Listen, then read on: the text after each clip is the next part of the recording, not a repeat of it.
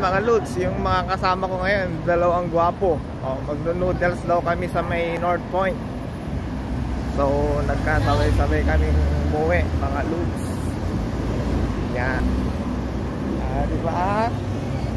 Share mo sa akin yung. Wala. Ayan. Shout out sa dalawang pogi. Boss Tony at saka Boss Lloyd. Pati, pati, pati, tinitihan ko.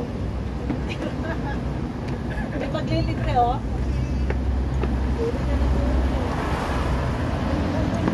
Talaga dito sa may Robinsons Road, mga lods. Ayan, oo. Oh, di ba? Ganda ng mga...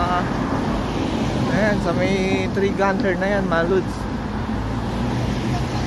Ayan. Oh, di ba? So,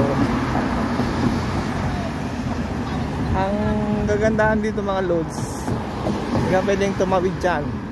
Kailangan mong dumaan talaga sa ilalim. May footbridge. Diba?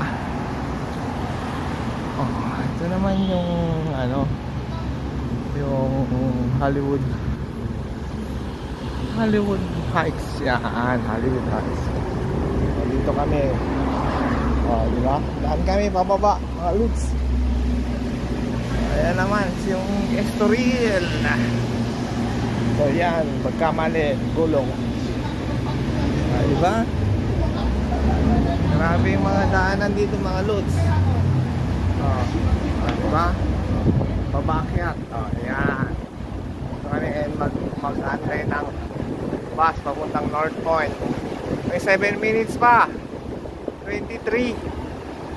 Oh, ayan. Oh, 7 minutes, 23. Oh, dito muna ako.